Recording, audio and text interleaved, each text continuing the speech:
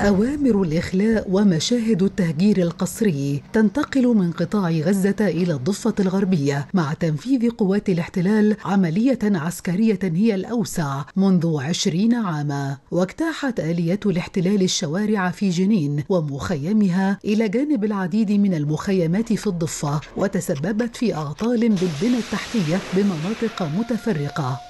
إحنا لما حسينا حالنا خلص انه فيش مجال يعني انه نرفع راسنا عن الأرض هون إحنا طلعنا لما خفنا من الصغار بنتي هيك عاملها على الأرض.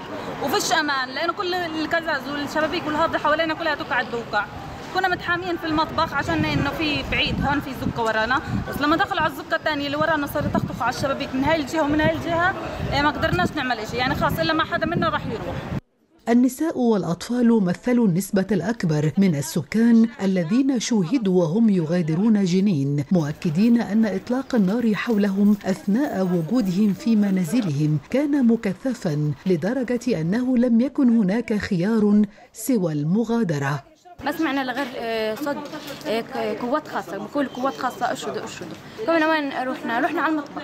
من المطبخ فات رصاصة وين رحنا على غرفة الضيوف. من غرفة الضيوف برضه فات رصاصة رحنا على غرفة النوم فات رصاصة يعني مش عارفين وين نروح. ما المطر ما المطر إذا بنروح هناك رصاص. إذا بنروح هناك رصاص. يعني عن جد فيش حدا يحمينا يعني. خلص وقفوا. شو هذا عن جد الله يعين أهل غزة